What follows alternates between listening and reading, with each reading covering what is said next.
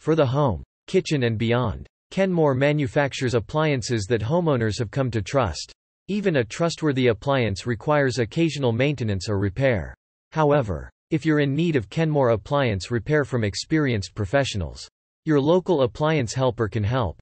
Kenmore dryer won't start. Thermal fuse. The thermal fuse is a safety device designed to protect the dryer from overheating. The fuse is located on the blower housing or at the dryer's heat source such as the heating element on electric dryers or at the burner on gas models. The fuse should be closed for continuity meaning it has a continuous electrical path through it when good. If overheated the fuse will have no continuity meaning the electrical path is broken and the fuse has blown. A multimeter can be used to test it for continuity. Be aware that a blown thermal fuse is an indication of a restricted exhaust vent from the dryer to the outside. Always check the dryer venting when replacing a blown thermal fuse. Kenmore dryer stopped spinning. Drive belt. The drive belt is a very long, slender belt that wraps all the way around the dryer drum, around a tension pulley, and then around the drive motor pulley. Over time, the belt can break from normal use. If the belt is broken, the dryer won't turn. To quickly determine if the belt is broken, reach into the dryer and turn the drum by hand. If the drum spins very easily, the belt is likely broken. Next, inspect the belt to confirm that it is broken. If the belt is broken, replace it. My Kenmore dryer is not spinning. Drive belt. The drive belt is a very long, slender belt that wraps all the way around the dryer drum, around a tension pulley, and then around the drive motor pulley. Over time, the belt can break from normal use. If the belt is broken, the dryer won't turn. To quickly determine if the belt is broken, reach into the dryer and turn the drum by hand. If the drum spins very easily, the belt is likely broken.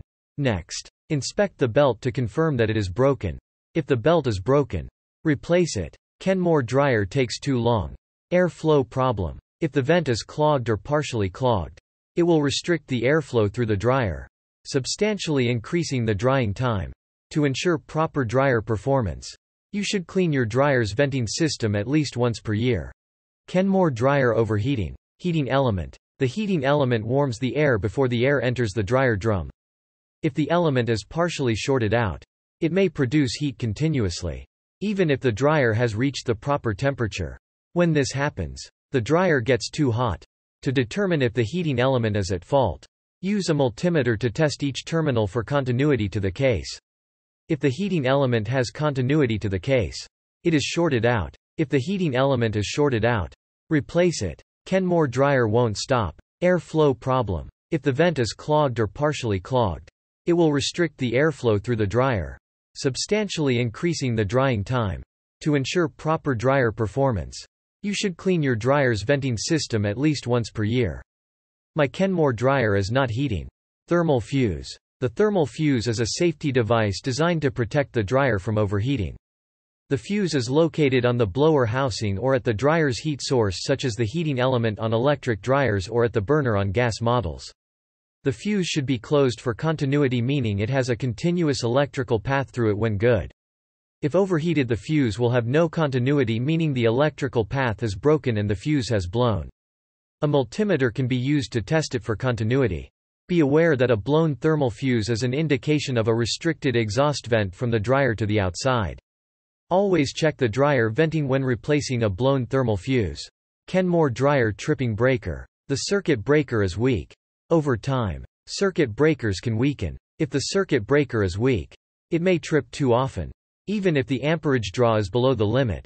If you have already checked all of the potentially defective dryer components, consider having an electrician replace the circuit breaker.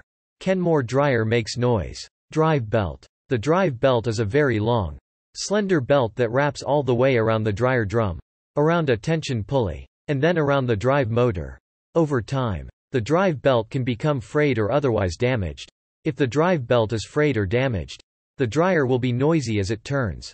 Inspect the drive belt for signs of wear. If the drive belt is worn, replace it.